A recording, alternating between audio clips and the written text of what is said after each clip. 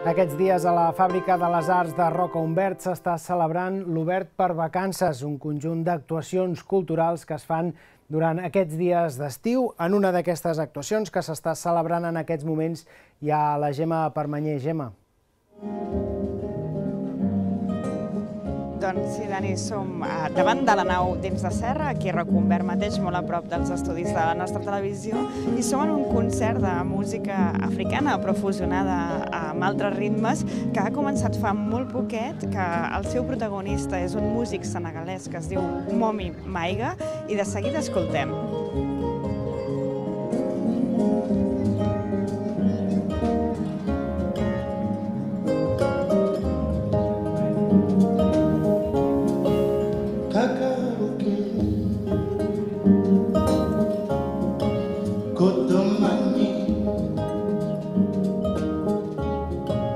Got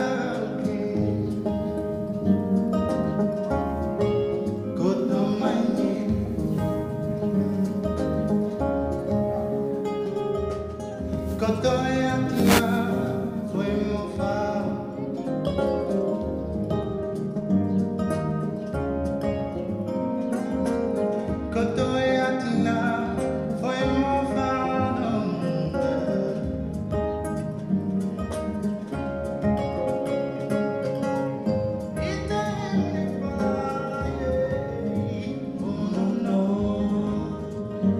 Veiem ara Momi Maiga cantant i tocant un instrument molt especial. Com us dèiem, és un cantant d'origen senegalès, és autor, compositor, músic i, i cantant. Forma part d'una família de músics que tradicionalment, encara dia d'avui, són portadors i transmissors del coneixement musical de la cora, que és aquest instrument que està tocant, i utilitzen també la música per eh, traslladar llegendes i tradicions doncs, de, de la seva zona de Casamans, del Senegal.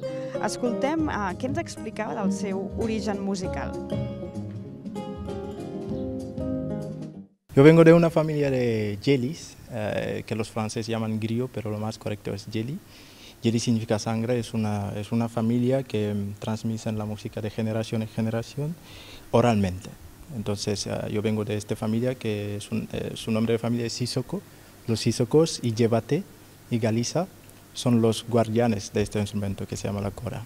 Entonces, como vengo de esta familia de la parte de mi madre, por eso no soy Sissoko, soy Maiga, y eh, he tenido la suerte de tener mis tíos, mis primos que me enseñaron cómo se toca este instrumento desde que tenía seis años. Veieu fa un moment que l'auditori és uh, pràcticament ple, són moltes les persones que s'han acostat aquí ara mateix a Reconvert per seguir en directe uh, aquest concert de Momi Maiga que està acompanyat en aquest cas de bateria i guitarra espanyola i l'instrument que toca ell, us explicàvem que es diu cora, és un instrument tradicional d'aquesta zona africana, del Senegal, i ell mateix també ens explicava doncs, quines característiques té aquest instrument. La cora es un instrumento de África Occidental que está hecho de calabaza, medio calabaza, piel de vaca, 22 cuerdas. Es un instrumento que es del siglo XIII y se puede encontrar en diferentes países que er, antiguamente eran un imperio. De hecho, era el Empire du Mali. No sé si habéis escuchado. Entonces se puede encontrar en diferentes países, Senegal, Guinea-Bissau, Gambia, Burkina, Mali, hasta el sur de Mauritania. Sí. puede encontrar allà. Això és el que ens explicava d'aquest instrument que estem eh, sentint ara mateix i que continuarem sentint i d'aquí una estona parlarem sobre el cicle obert per vacances.